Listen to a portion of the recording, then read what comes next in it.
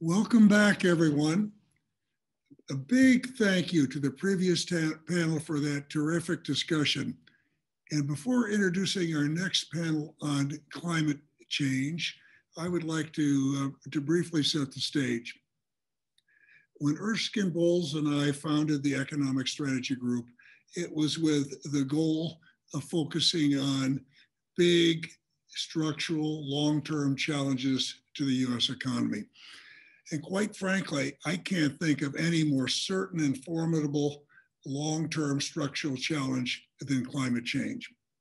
And I think about this challenge as a threefold challenge. First, we're going to need to provide enough affordable electricity to make it available to the 3 billion who are going to need it uh, in the decades ahead. So that's significant in and of itself. Secondly, we need to prepare for the climate change induced extreme weather shocks that are sure to come no matter what we do. And thirdly, of course, we need to decarbonize a global economy which is 80% reliant on carbon based fuels if we're going to avoid the worst uh, uh, outcomes going forward.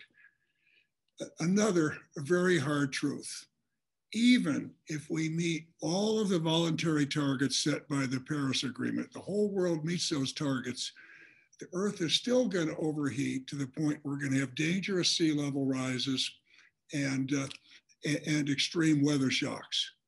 And of course, we're not even coming close to meeting those targets. So I think it's pretty obvious to most people by now that is, is helpful as these UN voluntary targets are, and they are helpful, they're insufficient. But we're going to need new structures. We're, going to need a structure, I believe, with teeth that focuses on the major economies, uh, deals very squarely with the, uh, the incentives to free ride and the tendency to free ride, and provides real incentives uh, to reduce carbon.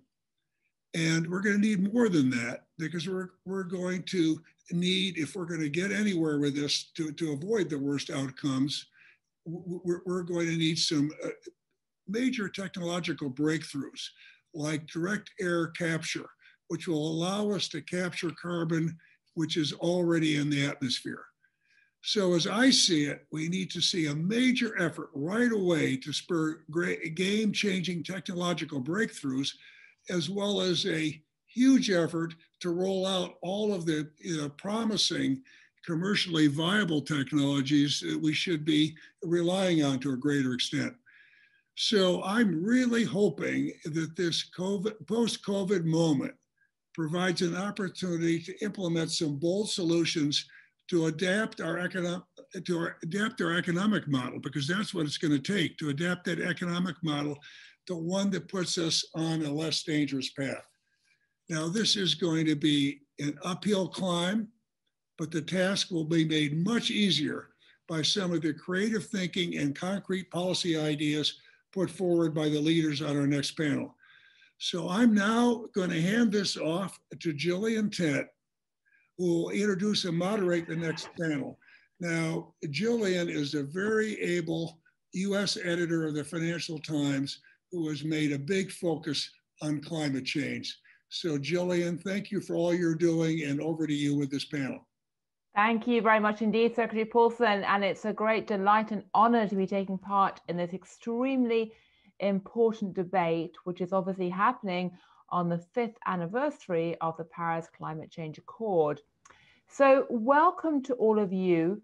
As you have just heard from Secretary Paulson in fairly stark terms, um, one of the messages of the report, which I commend to you all, is that there is no single magic bullet, no single magic wand at the moment that is going to solve all these problems just by itself. There needs to be many, many different steps um, taken, many tools and levers used to try and put the planet on a better um, path. We spend a lot of time at the Financial Times right now writing about that. It's a top priority for us. And we take pride in trying to pull together both the science and the social aspects and the politics and policy, but also the money and the business, because that's another very, very important part of the equation. So we have a fantastic group of people to talk to us from these different perspectives. And we have Trevor Houser, who's from the Rhodium Group, David Keith from the Harvard Kennedy School, both of whom have contributed to the volume which you have hopefully seen. Roberton Williams, who's from the University of Maryland, from the Climate Leadership Council, who can talk to us about the issues of taxes and other issues like that. And Kate Gordon, who's from the California Governor's Office of Planning and Research, who can give us a practical policy perspective about what this means on the ground. So perhaps I should start with Trevor, since you have contributed a chapter to this policy document, telling us what do you think is possible, just how serious is the issue, and what are you recommending? And I'm going to go down all of the panelists one by one to briefly give a, lay out their key ideas. We'll have a debate and then bring in some questions from the audience. We already have some terrific questions from you, but if you have additional questions, do please send them in and I will try and weave them together in the conversation. So Trevor, over to you. Great, thanks, Gillian. Great to be with everyone. Uh, maybe I can set the table by laying out the problem uh, in uh, some detail. The uh, our understanding of the risks of climate change has advanced really considerably over the past few years, and not just on the scientific side, but in the economics community, uh, thanks to an explosion of big data econometric research. Uh, and that research uh, really was accelerated by uh, leadership from Hank and from Kate Gordon, who's on this panel through the Risky Business Project in 2014. And what we're learning uh, from this new research is both that the magnitude of the macroeconomic risk of climate change is larger than we thought. So in the US, by 2030, the aggregate cost of climate change could be on par with having a COVID style disruption once every decade. Uh, and the public health risk is much larger than uh, we thought. Uh, new research suggests that by the end of the century, changes in temperature alone will increase global mortality rates uh, on par with all infectious diseases combined. Uh, but equally importantly, what we're learning from this research is that the impacts of climate change are very unequally spread, both within the US and around the world. And low income communities and low income countries are disproportionately impacted. So a hot day kills many more people in Delhi than it does in Dallas because Delhi is less adapted, less rich. Uh, sea level rise disproportionately impacts lower income households in the US. Heat waves reduces educational performance and test scores more in low income schools than high income schools. So tying this back to the previous panel, the challenges of inequality that both the US and other countries are facing now are only exacerbated by a warming climate. Uh, there are a number of recommendations that uh, I outline in the chapter for how to address that inequality of impact in particular as we think about our overall response to climate change. Uh, and the first is to remember that while there's a lot of talk about targets and timetables, and we'll talk about that here, the goal to get goals to get to net zero emissions by 2050, uh, to get the electric power sector decarbonized by different dates, the path to your target matters as much as the ultimate target. Every ton reduced has a measurable benefit, uh, both in the US and around the world. And that benefit disproportionately accrues to low income communities and low income countries. Uh, second, that that new research on the inequality of impact needs to be factored into the policymaking process, both the regulatory process and the legislative process, uh, whether that's in the development of the social cost of carbon or in how we allocate resources for resilience funding uh, to deal with the impacts of climate that are uh, that are that are already baked in and likely to uh, uh, to continue.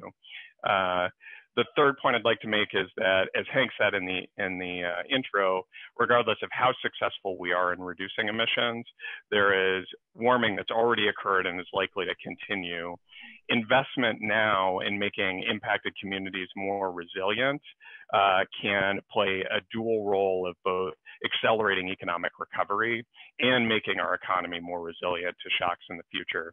Uh, and then the final point that I would make is that uh, the US is more vulnerable than many developed countries but is much less vulnerable than many developing countries. And the disproportionate impact on developing countries will increasingly lead to migration pressures here in the US. And because a lot of that damage is caused by historical emissions from the US, uh, we believe the US has a moral responsibility to accommodate those refugees in ways that we've accommodated other categories of refugees. And so, one uh, recommendation that we outline in the chapter is that the US set up a uh, temporary protective status program for climate change. Uh, and a good case study of how you would apply that is, uh, is Hurricane Eta right now and the impact it's had in Guatemala. Uh, that in the same way that we've extended temporary protective status for other natural disasters, that we should increasingly do so for climate. So let me stop there. Well, thank you, Trevor. Um, a lot of very sober warnings, a lot of pretty bold policy ideas. Some of those policy ideas seem pretty hard to imagine ever being embraced right now, it's certainly not in recent years. But one thing we have learned in recent years that we all need to imagine the unimaginable sometimes, and the zeitgeist can change and indeed is changing very rapidly indeed right now. So um, I'd like to ask um, David Keith, please, from Harvard Kennedy School to share your perspective, and then I'll turn to Rob and Kate. Thank you. Um, so there are four basic things we can do about climate change, four basic response modes. The first is to decarbonize the economy, to shift the industrial infrastructure of the planet away from carbon intensive fossil fuels to solar, nuclear, wind, what have you, carbon free energy. That's the central thing we have to do. We can also remove carbon dioxide from the atmosphere, carbon dioxide removal. We can also do what's called solar radiation modification or solar climate intervention, ideas of deliberately intervening into the climate system somehow to make the Earth more reflective and reduce some of the net risks, maybe with accompanying new risks. And the fourth is adaptation, which is kind of AKA climate resiliency, ways that we locally make uh, societies and ecosystems less vulnerable to climate changes. So these four things, I think we need to take them all seriously but they do different things and they have different natural uh, uh, natural sequencing, timing sequencing um, uh, in, in climate policy. So decarbonization acts on the fundamental source term. It's the one thing that is absolutely clear we must do. The, the long-term driver of climate risk is putting carbon dioxide in the atmosphere. Carbon dioxide removal allows us to do something that you cannot do by emissions cuts. Even if we cut emissions to zero, historical emissions are still driving warming.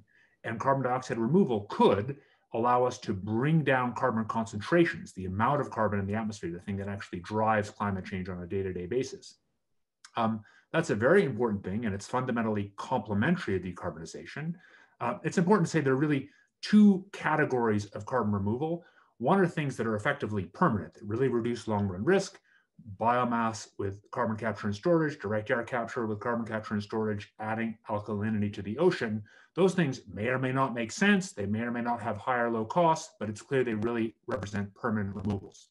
Then there's a bunch of things that are fundamentally short term, adding to the carbon stock in trees, which I think would be better called carbon banking or in some ways delayed emissions.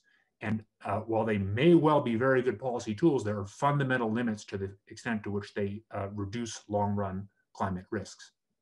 Um, uh, solar radiation modification, I, I, think no one would say it's something that we definitely should do. My view is it's one of the important things we could do, and its key uh, um, key feature is that it can act relatively quickly, that it doesn't have the very long inertia that decarbonization and carbon removal have, and that it appears on current evidence that it could substantially reduce risks globally, but it's fundamentally a band-aid. It's masking the underlying risk term from the carbon dioxide in the atmosphere. So it can't substitute for carbon removal, which really can reduce that long-run risk term.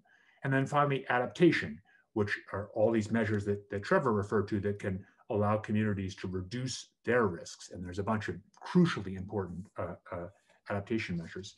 Um, one new feature in this paper is some work uh, that comes from a range of papers, including one that both my co-author John Deutch has been involved in, a separate paper that I've been involved in, that have done early versions of optimal economic modeling of these instruments over time. This is in this you know, universe that economists like where there's a global uh, benevolent uh, dictator for the world, which is obviously not the world we live in.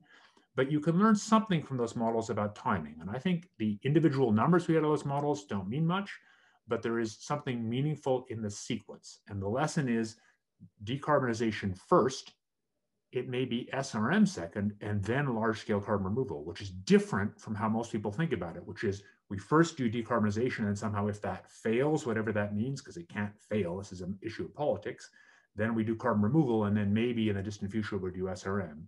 Our argument is that there are real reasons to believe that's the wrong order, although we can't say and nor can anyone else whether or not it makes sense to take SRM seriously. Thanks. Thank you. And I think one of the messages from this is that, as I said before, there is no single magic, um, you know, silver bullet or magic wand. We're going to be having to look at a range of strategies.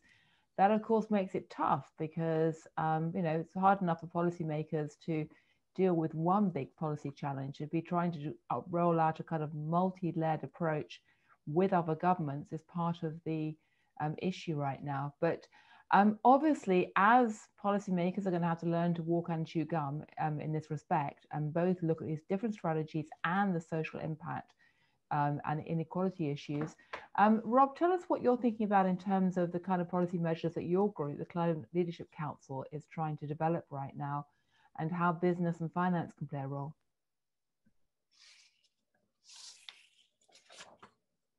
I'll talk about that. I also want to um, there's a third paper in addition to David's and Trevor's um, by Gib Metcalf um, that, uh, that I want to talk about uh, at least a little bit at the beginning of this.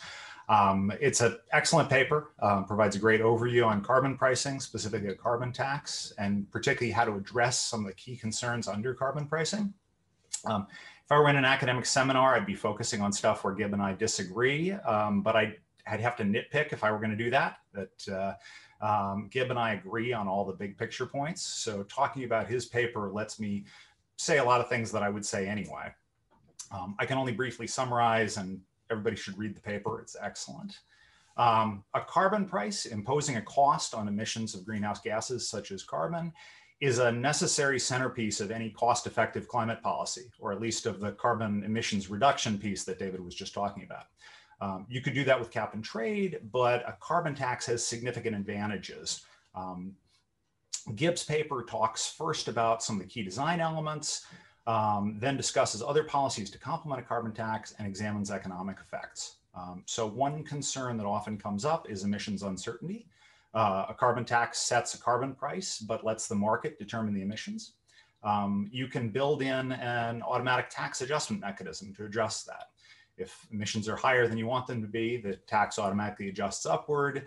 You could put in something else that if it emissions are lower than you were targeting, uh, the tax adjusts down. Um, that can that can sort of add more certainty about emissions. Um, there's also a need to address international trade issues that if the US puts in a price and other countries don't, and carbon intensive industries simply move overseas, that imposes a cost on the US and there's no climate benefit at all. Um, a border carbon adjustment can, can address that kind of issue. Um, there's also the question sort of what other policies do you need? Once you have a carbon price, there's no need for the other policies to address the priced emissions. So you could eliminate those other policies, but that doesn't fix everything. You still need regulations for the greenhouse gas emissions that aren't priced, um, methane being probably the biggest example of that uh, very hard to price. Um, local air pollutants, you need policies to support research and development, to address equity issues, et cetera, et cetera, et cetera.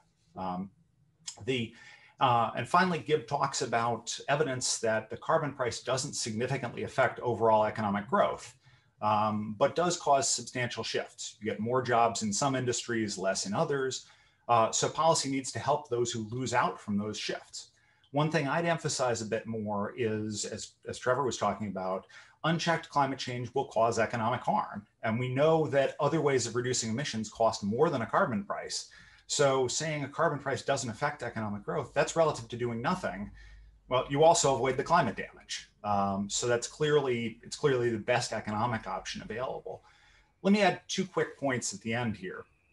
First, I want to emphasize that carbon tax is the core of emissions reduction policy. There's a misconception out there that a carbon price or carbon tax is a way to pay for climate policy. And that's wrong. The price is the climate policy. Um, the price itself creates a strong incentive to reduce emissions. So you get major reductions in emissions, even if you use the revenue for something that has nothing to do with the environment. You can use it to address other needs. Uh, as one example, I'm working with the Climate Leadership Council on their carbon dividend plan, which uses that revenue for dividends to all Americans. So that's an approach that has real political advantages, and it especially helps the poor and middle class, which is, is something we, we need given current inequality issues. Um, second, a common issue people bring up is the political feasibility of a carbon price, and that's overblown. It's certainly a challenge. Um, it's substantial challenge, but I think people overestimate the challenge and underestimate the political difficulty of any equally effective alternative, or over time of continuing to do nothing. Now, obviously, you need the right proposal for a carbon price, and the political moment needs to be right.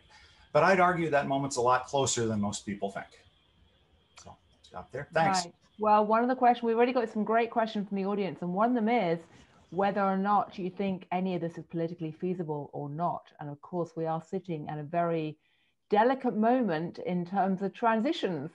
Um, so it's going to be an interesting year next year. But even before that, we have Kate, who can tell us, having heard what the scientists, researchers, academics think what it's actually like to be on the front lines of actually putting some of these br- brilliant ideas into practice in a state like California. You know, what are you doing? What is possible, and what could change? Thanks so much, and it, is it is great to be here, and really an honor to um, have have been put in a position to respond to these amazing papers. Um, you know, California is, I think sometimes people think, oh, you know, California is not like anywhere else. It's its own thing. I just, just a reminder that we're the fifth largest economy in the world. We're also a very diversified economy. We have an oil and gas sector. We have the largest manufacturing sector in the United States. Uh, we have a lot of rural economic activity. So really it is quite a diverse economy. And I think an interesting microcosm of some of the issues that we're looking at throughout the United States. And the reality is that in California, we are dealing with every one of the things that just came up in this conversation so far. Um, let me start with with Trevor's point, and, and I've been, been lucky enough to get to work with Trevor on some of these issues in the past. Current climate impacts in California are significant. Um, everyone knows, I think, we've had the biggest wildfire year in terms of acreage burned, over 4 million acres this year. We've had four of the all four August, September, October, November, the hottest months on record um, for California. So it's been really a significant year, and and I'm pointing to that because I think sometimes people don't realize the fiscal impact that that has in a state like many states. We have a balanced budget requirement, so we can't do deficit spending. When we turn over our budget to emergency response, it means we're not spending on other things. Um, that also, and I actually, uh, uh, Trevor uh, hosted a Rhodium Group hosted a panel last week that was incredibly interesting on these economic impacts. And one thing I learned on that panel, but I've also experienced in California, is the direct impact or relationship between um, climate disasters and the safety net. So the more we spend, the more climate disasters we have, the more we actually spend on helping those vulnerable communities that Trevor talked about with unemployment, with food stamps, with relocation. So all of our budget kind of higher and higher and higher in response. And as an example, we spent a billion dollars on firefighting this year in California. That's three times what we budgeted. And that was literally just firefighting people and equipment. So I bring that up because uh, it's, it's very relevant to what both David and Rob talked about. Every dollar we spend, the more we spend on emergencies and safe related safety net programs, the less we have to spend on everything David just talked about on emissions reductions, on carbon removal, on adaptation and resilience over the long term. It's what we're seeing is a shift away from those longer term thinking into emergency response, which just puts a point on how important it is to get ahead of it. Um, but it's a balancing act that's very hard for us at the state level. And so it's why we're so, so dependent on the federal government to both buttress our safety net spending so we can redirect some of those funds and also to support the longer term research and development, the longer term resilience efforts, the longer term pieces that we really need to put in place so that we don't have that, that budget reality. Uh, I will say, uh, you know, to Rob's point and, and the Metcalf paper on carbon taxes, I agree that they are they are incredibly useful. Car- pricing carbon is incredibly useful. We've been doing it in California since 2006 with a cap and trade program. I agree it's not a revenue generating policy. However, let me just say that the only reason we still have any money to spend on anything other than emergency response is because we have a dedicated cap and trade fund program that is separate from our general fund and has to be spent on emissions reductions and related programs. And so that's the place where we are still able to look for, for some of those key programs. And so it's been incredibly helpful to us. The upside is that it doesn't get colonized by these other issues. The downside is that it's a dedicated program. And so it, it can lead to a political thought that it's the only place we fund this stuff. It can lead to siloing your funding for, for those critical issues. Ideally, and this is where we're trying to get in California, we should be integrating thinking about reducing our climate risks and thinking about capturing these opportunities of these new technologies and programs and protecting vulnerable communities throughout and providing access to them. We should be doing that across all of our spending, across infrastructure, across all of our assets, across all of our agencies and programs, because ultimately this is a government-wide uh, issue. And, uh, and that, to Trevor's point, has to be incorporated into our budget, regulatory, and policy programs. The last thing I'll say, and I know this is a lot, but, but it is kind of top of mind for us as we're putting our January budget together. This is what I'm thinking about every minute of the day. We are really convinced in California of the need to have this be a cross agency uh, approach, um, not to confine climate action and climate policy to the environmental agencies, but really to say this is an economic issue, this is a fiscal issue, this is a health issue, this is an agriculture issue. Example from California, a very specific one, and it actually goes to something David talked about, um, is our work on forest biomass or, or wonky term woody feedstock uh, from the forests, we have a whole bunch of wood coming out of the forest that we need to get out because we're doing forest management to help reduce our wildfire risk. That's important for health. It's important for our climate emissions.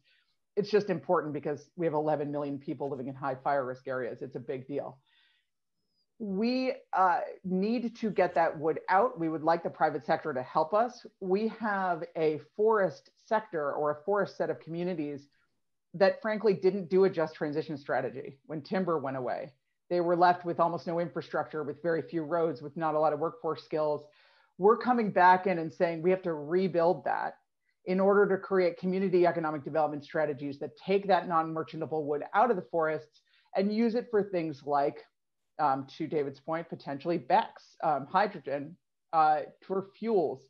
Sustainable aviation fuel is a growing market. For cross-laminated timber, for a set of sustainable wood products and for and and uh, wood-based products that could also build out those sectors of the economy.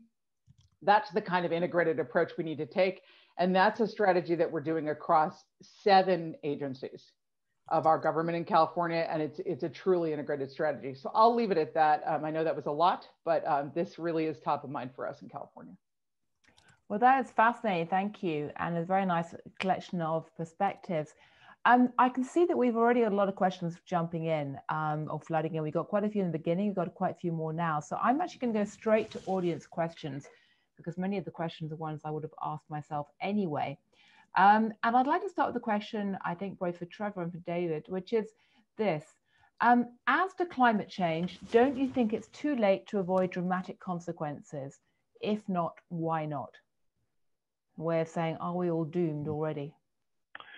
Uh, absolutely not. I mean, that what we've seen over the past few years is just the uh, is just a precursor to some really disruptive, both economically and societally changes uh, that we'll face if emissions stay on the past trajectory.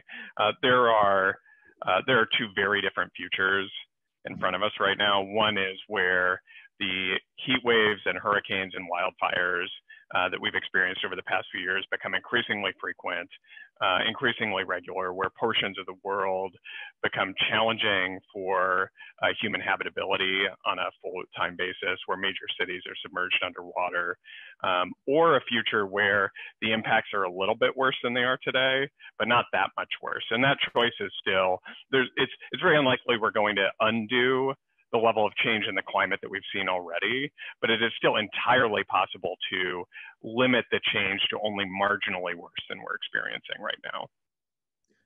Okay. There's a huge gap between uh, doomed and and and significant risk. So I think there's no there already are significant climate consequences. So we're not avoiding the fact that there's consequences, but uh, I think there are actually few scenarios under which it's doomed. I mean, I'm a generation that grew up worrying all my time about nuclear war. I still do. I, I, think that actually one of the challenges of climate is this kind of this creeping awful thing, but it's not a sharp existential threat as much as, I mean, if it really was, it'd be easier to solve the politics.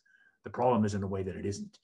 Um, uh, I, I would poke at Trevor a little bit. He said it's very unlikely that we would reduce the level of risk. He might be right, but that, just to be clear, is implicitly saying that we would choose never to do carbon removal uh, to reduce net uh, concentrations, or that we would never use solar radiation management uh, uh to reduce overall climate changes for a given amount of CO2. And those might be correct judgments, but to be clear, those are choices, not things that are fixed by the physics of the problem or the tools we have.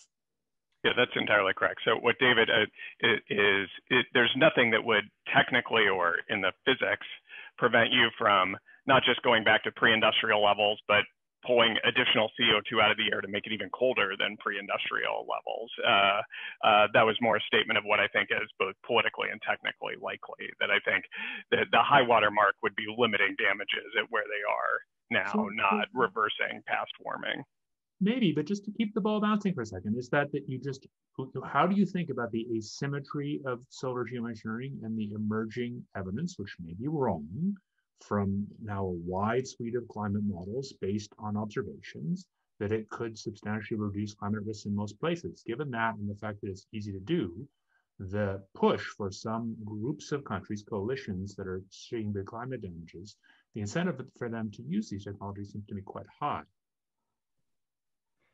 Let's, uh, let's hope you're right. So there are actually things that could be done, which is obviously very um, encouraging to at least try and start, you know, talking about this in a slightly more serious multi multi-pronged strategy.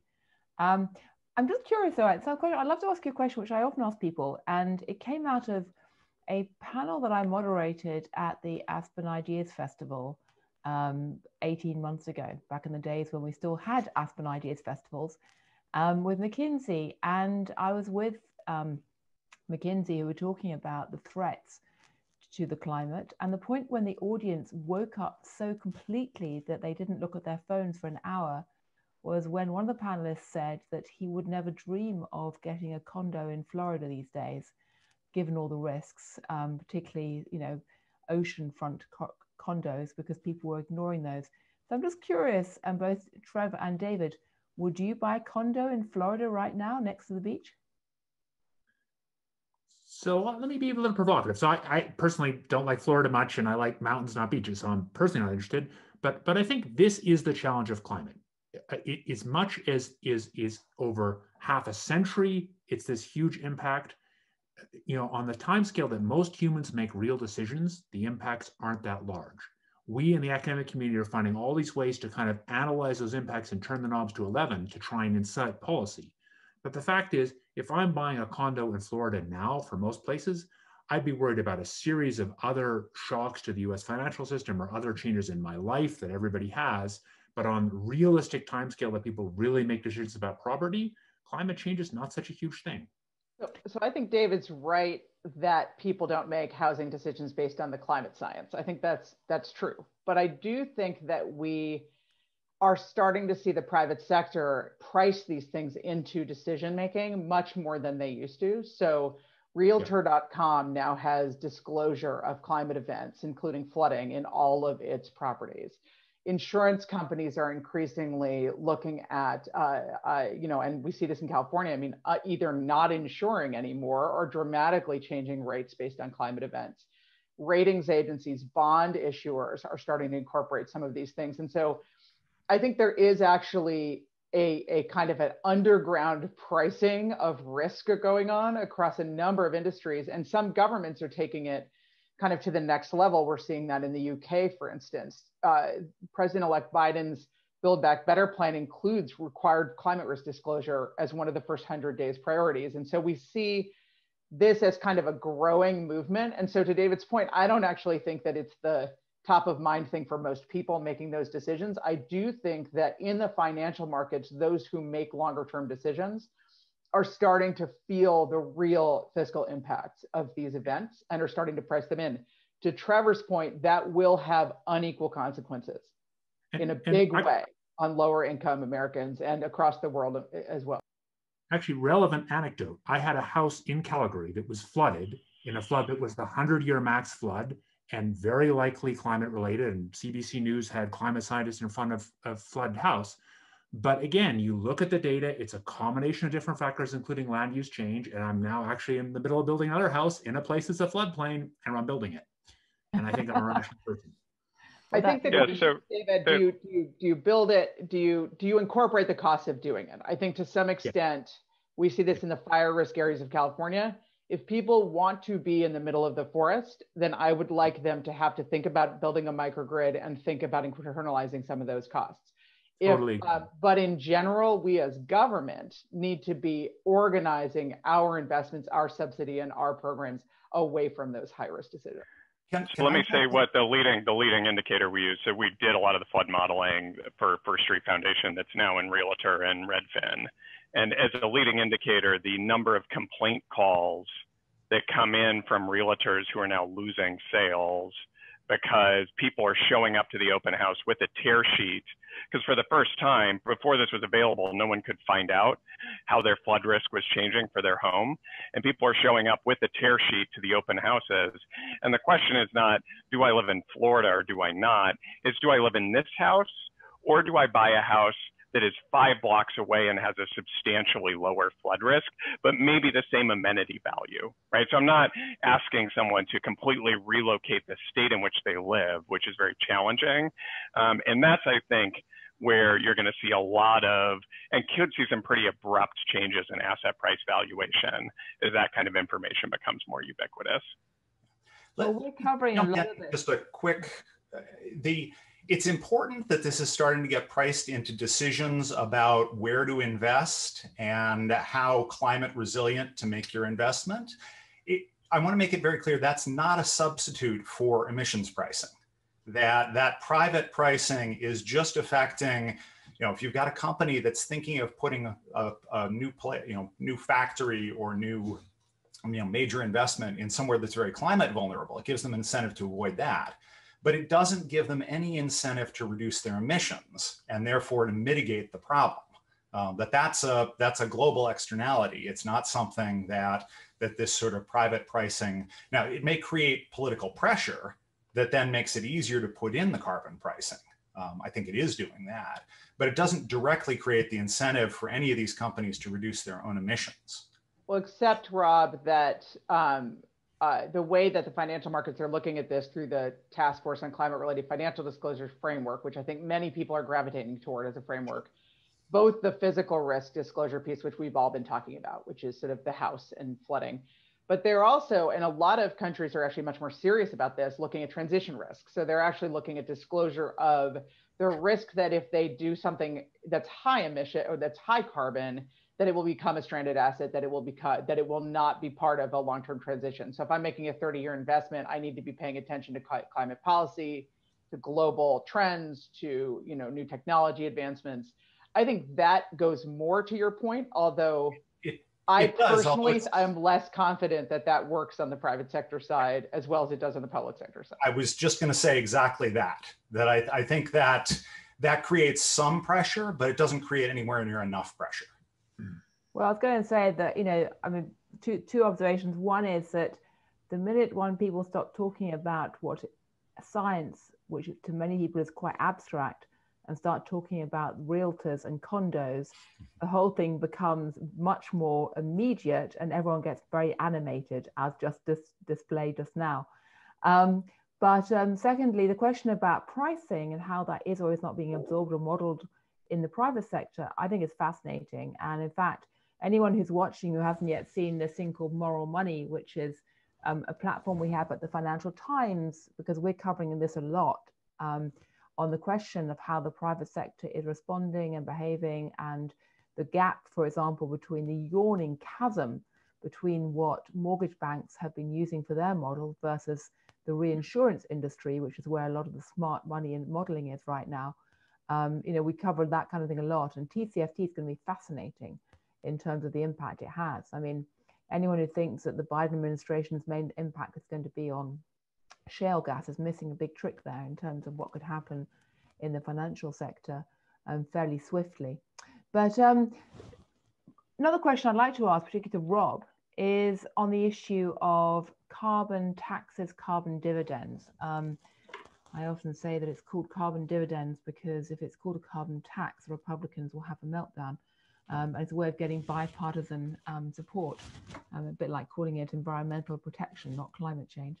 Um, but the question here is, could you discuss the prospects um, of a carbon tax not attached to a carbon dividend? Do you think we're likely to have any straightforward carbon tax as opposed to a carbon dividend or even just carbon pricing um, under the next administration?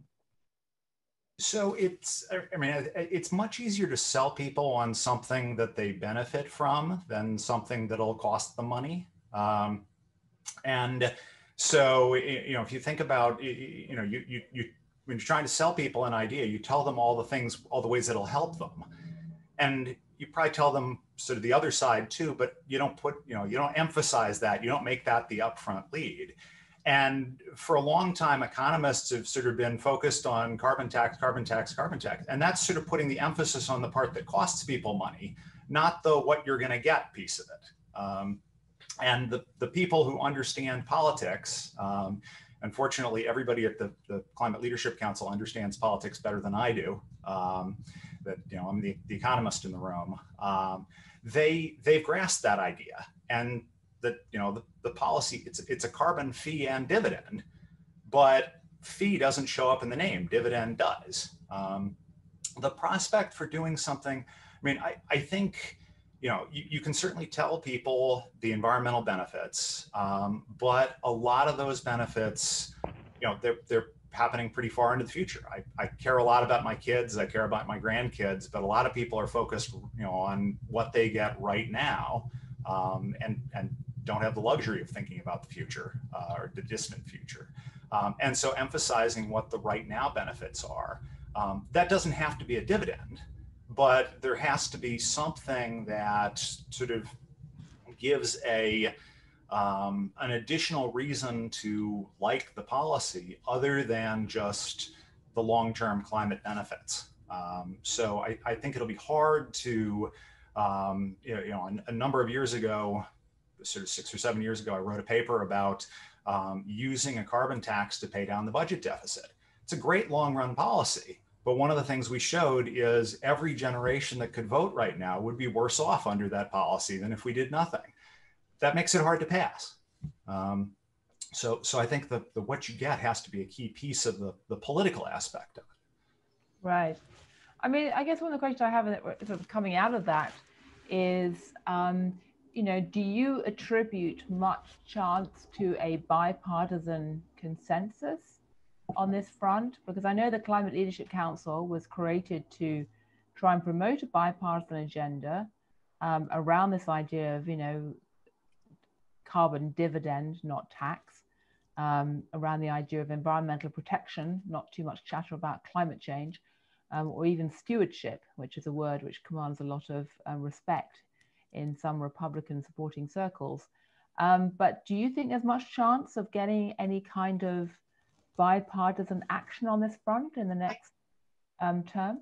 That's a great question. Um, I, I, think to have any kind of serious, durable policy change at the national level, it has to be bipartisan. That the, the idea that you're going to be able to push something through with just one party pushing it, um, and that you can do something that will do a lot and then won't get immediately pulled out the moment the next president comes in. Um, it, has to be bipartisan. Um, and I think there is potential for that. Um, I mean, it's it's it's difficult to say. You know, the, the moment has to be right. Um, but there are Republicans who support um, the climate dividends, you know, the carbon dividends plan, or, or various other version policies like that. Um, and I would, I mean, politics is a little unpredictable. Uh, you have to be ready when the, the moment strikes. Um, if you'd predicted where the Republican Party would be right now, you know, nobody would have predicted that six or seven years ago.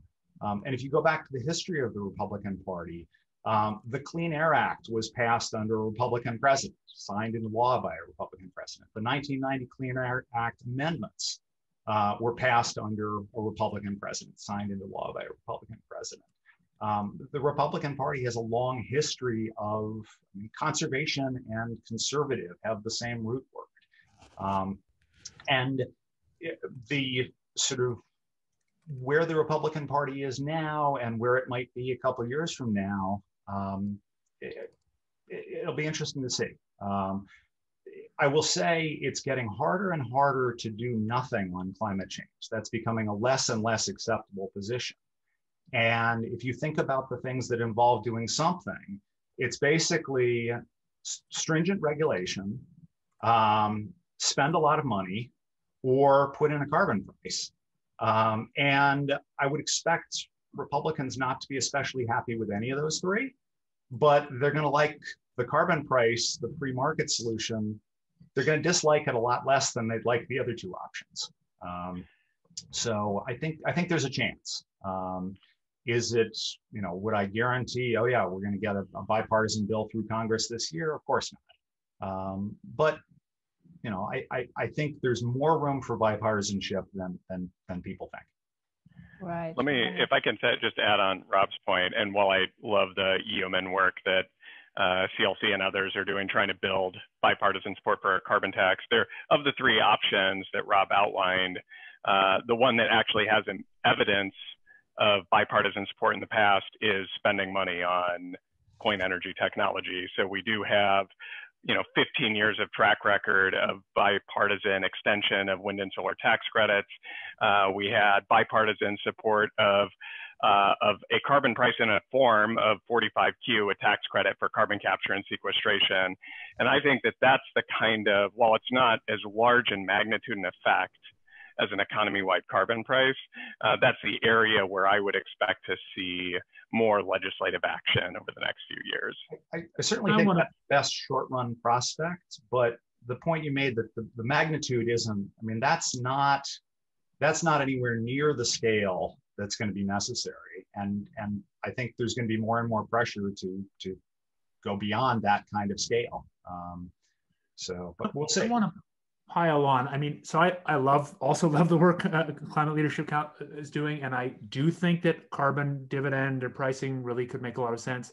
But I think you made some things that, that I see a bit as overclaims that it's necessarily the most cost effective or that it's necessary. So the fact is we have solved major environmental problems. The Clean Air Act cost peak around 0.7 or so percent of GDP, real money, not that dissimilar from the kind of money we need to spend on climate. We manage problems like global ozone, air pollution, lead, DDT, et cetera. None of those use pricing mechanisms. And, um, and, and on the second point, the idea that pricing mechanisms are necessarily the cheapest path is true in a world where technology is fixed forever and so you can just work your way up the dispatch order but in a world where technology is not fixed forever it's not necessarily true so that raises a question which again i mean someone like kate may have views on or you may all have views on which is basically should we stop messing around with incentives and just get heavy handed with regulation instead?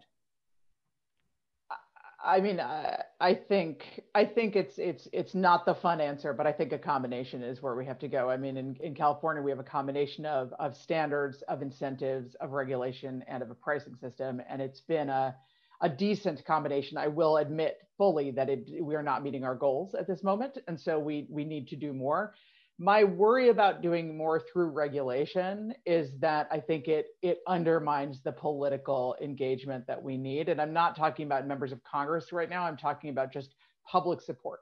Um, in, in, and I say this from a state perspective where many things happen through the ballot. So there's actually a real link between what the public thinks and what we end up doing in Sacramento. Um, and, uh, and I think that regulation without thoughtful transition strategy, which by definition has got to involve some investment, is, is a problem. Um, if you just throw it out there and you sort of hope everybody will adjust and that the market will will hit the goals that you've set out or the regulatory structure you've set out, um, you end up with a number of things happening, uh, potentially um, uh, potentially people leaving the state um, in terms of the business side. But I think even more significant is potentially leaving particular communities behind because it is in fact part of the transition strategy to make sure that it's inclusive, that you're, tra- you're you have a strategy where current workers in some of the industries that are declining through regulation mm. actually have a pathway. So so I, I think I really do think it's a mix. And just to the point on investment, I mean, really, really agree that a large chunk of it and it, where we've seen a lot of bipartisan support has been through incentives. But absolutely, Rob is right that we can't do it all through that. Um, and I'm just going to put in another plug for for catalyzing private investment. I mean, I think at, globally we have a trillion dollar gap between gov- what governments can do and what's needed we have to, um, we're, a, we're fans in California of things like the Green Bank, where you're actually creating structures that allow the government to strategically use money to de-risk private investment where that where the private market isn't taking on that risk. I think there's a lot of opportunity there. The European Green Deal is providing an interesting model for how to do that at scale. And so I think we're just we're looking at that as a really exciting opportunity. But honestly, I think we've got to look at a combination of policies at this point, just as we have to look at a combination of technologies. Rob, I can see you went. Do you want to jump in? Yeah, I guess I'll jump in. The, the, so I, I, think, I guess two points to make. Um, first, uh, David's all, absolutely right that in a world where technology matters, a carbon price by itself isn't the most cost effective policy. The most cost effective policy is a carbon price plus um, some technology push. Um, that there, there, are multiple market failures there the, the, the emissions externality and the R&D technology issue.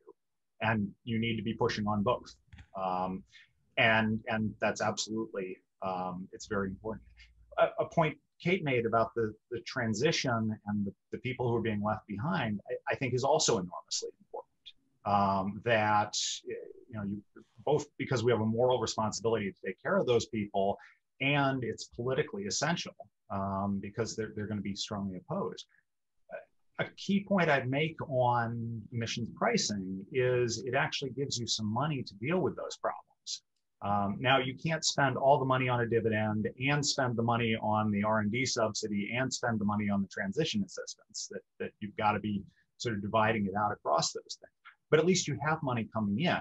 Whereas a lot of the, the command and control regulations don't bring in any revenue.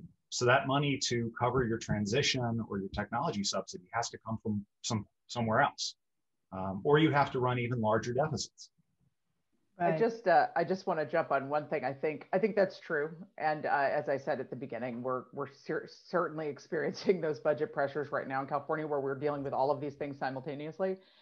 I will say, and again, I think this goes to the sort of whole of government approach on climate. Um, one thing that's increasingly, I think, clear from from all the countries dealing with these issues, which is pretty much everybody, is that um, if you let everything stay in your regulatory agencies, your environmental regulatory agencies, if they if they are in control of the entire climate agenda, then you risk having regulatory environmental regulatory agencies designing things like economic diversification strategies for just transition which is just not a good idea.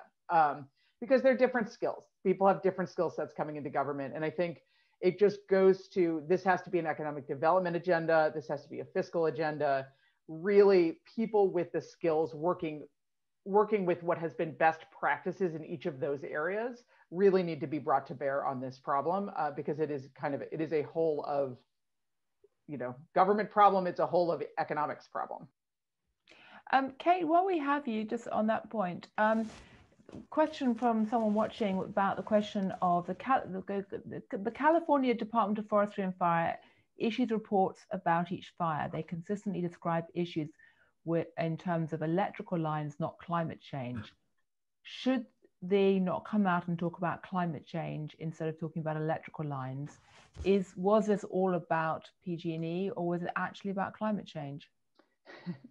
well, it's it's a false dichotomy, I guess. I mean, I, I will say the Board of Forestry and CAL FIRE, which is our state firefighting agency, talk about climate change all the time. And the reason they do is because the conditions that have been created by very wet followed by very dry years in California is that you get a lot of vegetation in the wetter years and then it dries out in the drier years. What climate change does in part is leads to these extreme precipitation patterns that provide for drier dries and wetter wets. Um, yes, indeed, the power lines are what creates the electrical spark that then sets that all on fire. Um, but the conditions on the ground that make those fires as, as um, intense as they are, combined with high winds, which are also climate driven, um, are significant. Now, I, I will be honest and say that in California, I mean, people often say you should learn from Southern Australia. They're doing all these great things on fire, which we do, and we have a great relationship with them. One million people live in all of Southern Australia. 11 million Californians live in high fire risk zones. So we have a development issue. We have developed into these areas in part because people are seeking affordable housing, honestly. We've developed into these areas. It's something we have to take really seriously whether we can keep doing that and keep requiring our utilities to serve those places with power lines or whether there's a different way forward. So that's another piece of the puzzle. So agree with the questioner that there are multiple pieces to this puzzle, but the reality is that the conditions on the ground and the wind conditions are significant when it comes to how the fires behave and how many there are. Right, that's fascinating. Um, I'd like to ask one other quick question to David, which is about the geoengineering, and say, you know, have you laid out a reason as to why this kind of approach could be adopted in countries like the US, but what about places like China? What are they doing over there? And maybe Trevor would like to jump in there as well. So I don't think geoengineering. So so um, solar geoengineering, the idea of putting making the Earth more reflective, um, is is seems to be at least most methods um, cheap enough that it's something in range of of you know most nations, including even relatively poor nations. So I think the question of how it happens is really about power politics and legitimacy, and also about the kinds of checks and balances in each country. So if I had to guess, I actually don't think it's that likely that the US is an early adopter, but it's very hard to say. These are things that inherently raise very hard global governance problems. And I didn't say the central concern about solar geoengineering and the, the reason it's been so rightfully controversial are really concerns about addiction, about the idea that it will provide an excuse for people to do less on emissions cuts. And that's the central challenge. I think it's a reality. And I think part of the way forward is to to live with that reality, but also to look for ways in policy to couple decisions around solar geoengineering to rapid action to cut emissions at a nation by nation level. Right. Trevor. It's, yeah, I guess the only thing, uh, David's a, a geoengineering ex expert. The one kind of insight from the climate economics research that I think underscores David's point on governance is that there is no single temperature that is optimal for everyone on the planet, right? The optimal temperature, if you were Sweden, global temperature is very different than the optimal temperature if you are India. And so if we at some point had a technology viable thermostat on the climate where we could just choose where to set it, all countries would choose to set that thermostat at different places, right? For Sweden, Sweden would be better off if we continued to increase in temperatures, whereas India would be better off if temperatures didn't just return to pre-industrial levels, but went colder than pre-industrial levels. And so that raises a bunch of very thorny governance issues that David uh, that David rightly flagged. Just right. to be clear, when Trevor says Sweden would be better off, that means on a purely economic measure, based on some nice econometrics, which are relevant, but discount all the reasons we care about the natural environment, which are real. So, so on, under Trevor's argument, things like national parks wouldn't exist, et cetera, that may be correct, but it's not the way many of us actually think. Right, right. Sorry, Trevor, do you want to come back in there? Yeah, no, I, on other on non-economic terms, it would as well. I mean, you don't the the it's unclear what the tundra in Canada or in Siberia would be in a warmer world Uh, but it's impossible. It's entirely possible that that would be welfare enhancing for the tundra and for uh, northern uh, northern Canada, uh, even if you included a broader measure than just economics. Can I just then quickly ask? Tundra's welfare prefers it warmer. This is a very odd argument. I think I think that just leave it. Some of us actually care about leaving the environment more the way it was, protecting nature in the old-fashioned sense. Can I just ask a quick question about trees? Because we're almost out of time, but there was incredible excitement um, at Davos last year about the Trillion Tree Initiative and this idea that you know because people are so desperately looking for you know a silver bullet or a magic wand and we had people like Marc Benioff stand up and say that we all need to plant trees. President Donald Trump got excited about that one too. Is that the answer, or is that just another kind of red herring or distraction? I mean, again, it's it's an answer among many, many, many answers. It's not a silver bullet. I will say, just to be to to be positive about this, because I think trees are great. I, we love trees. Um, we want them to stop burning as much in California, but we love them. Um, I really think one of the, I would love to see that initiative really focus, and I think Marc Benioff is doing this to a great extent on urban forestry. And one of the reasons for that is that one of that the single biggest mortality killer, uh, the, the single biggest killer from a mortality rate perspective of climate impacts is extreme heat, actually. And extreme heat is a much bigger deal in low income parts, even of our US cities. There's a lot of data on the, the reality that trees are planted in higher income parts of cities and not in lower income parts of cities. I would love to see a really focused initiative to, to change that trend because it would be good for so many things. It would be good from a health perspective. It would be good from a, a very small level, but a carbon uh, uh, sink perspective. And, and it would just, it would be a, that sort of intersection of resilience and, and, and mitigation but I think it's really dangerous to ever grab onto any one solution um, because this is a multifaceted problem and it plays out really differently in different parts of the world. Two well, facts think- and a two facts and a hypothesis. One fact is that if you look at the change in atmospheric carbon burden since 1850, which is the thing that drives climate, only about 5% of that has had anything to do with carbon back and forth in the biosphere. It's fundamentally a problem of human fossil fuel and cement emissions. So, second thing if you plant trees, the carbon can easily come back out with change policy or climate change. And so you don't necessarily reduce long run risk. You may have built yourself a kind of a carbon stock that comes out with climate change later in the century, adding to risk. And then third, a hypothesis, maybe this was because folks at Davos were really excited about doing something to save the planet, but maybe it was because they were doing something that made it look like there was easy action that they could get behind that wasn't actually much more than symbolic. Well, I think that's a very good moment on which to end, which is in some ways both encouraging and discouraging.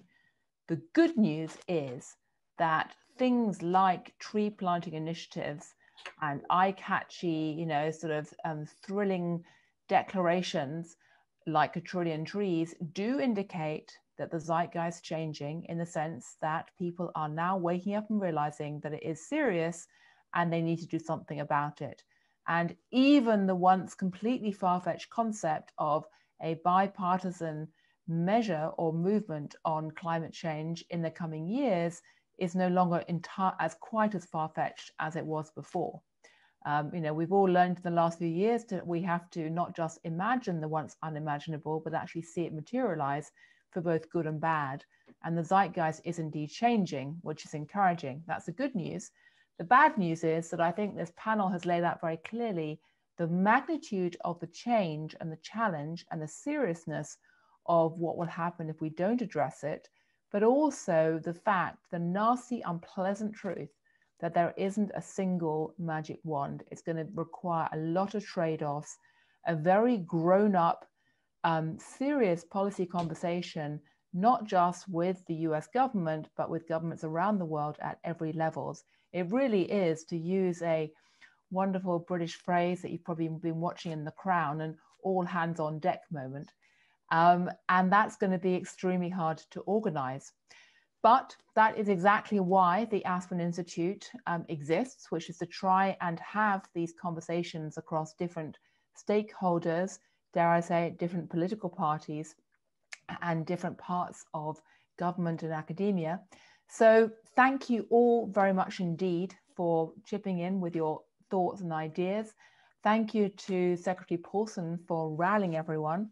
And now I'll hand over to the um, organizers for the next stage in the program. So thank you. Great. Thank you so much, Gillian. Thank Thanks, you. guys. Kate, David, Trevor, thanks for sharing your expertise and your time with us. Um, I'm just here to wrap up our program for today. Um, thank all of our panelists and all of our authors. Thank you to the participants who, who stuck with us on Zoom this afternoon. And I encourage you again to please go to the website, economicstrategygroup.org, where you could request a free copy of the book or download a free copy of the PDF. Um, thanks for being with us and being part of these substantive, rigorous, bipartisan conversations.